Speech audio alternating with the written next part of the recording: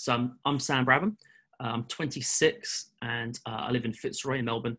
Uh, and I've also got live with my girlfriend and we've got a dog together called Bailey or Basil is his sort of certified nickname as well.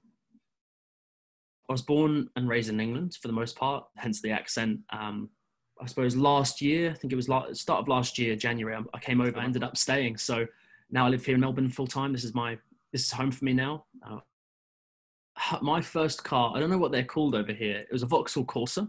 It's like the smaller one to an Astra, basically. But that was my first car. And my second car, I actually upgraded. I used to just watch Senna videos with my best mate. And that's how I got into Formula One and racing. It wasn't through my dad, really. It was because I watched Senna videos and thought it was pretty cool. I started in like arrive and drive, just hire karts, basically, just to kind of get a feel for it. My dad, my dad was quite, he never pushed me into it. I was probably 14 and a half, 15 by the time I, I properly stepped into a real go kart. Fortunately, I got into a race car at, I think it was 18. Well, with a surname like yours, surely you'd be into motor racing. And I was like, oh, God. I, said to him, I said, look, my dad told me not to mention the racing.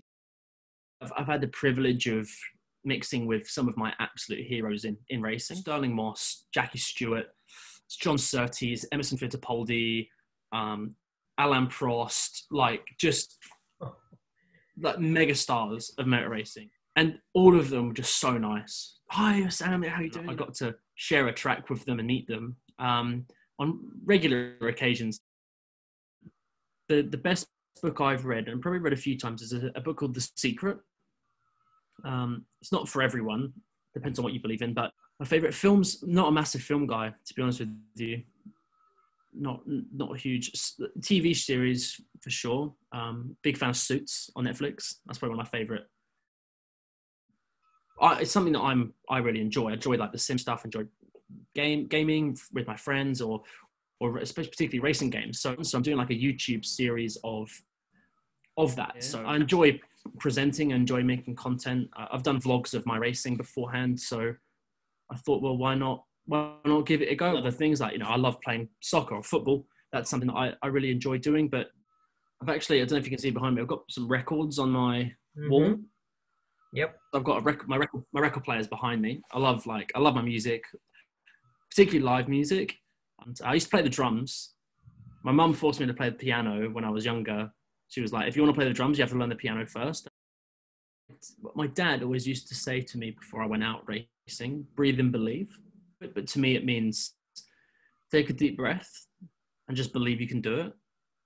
You know, before you do anything, whether it's a race, whether it's qualifying, whether it's getting up in the morning, whatever it's going to be, just take take a breath, breathe it in, and and and and believe in, in yourself.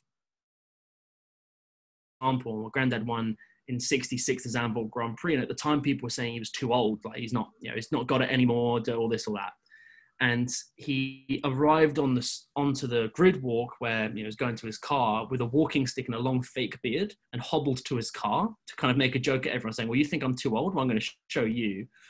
Ended up winning the race and the world championship in 66 and i had the absolute privilege of driving the bt19 which is the the exact car that jack won the 1966 world championship in the only driver ever to win a world championship in a car of his own construction as team boss and is with his name and all of that. That was actually this year. I got out, and I have to admit, I, I was almost in tears. Like it was that car to me and the family means so much.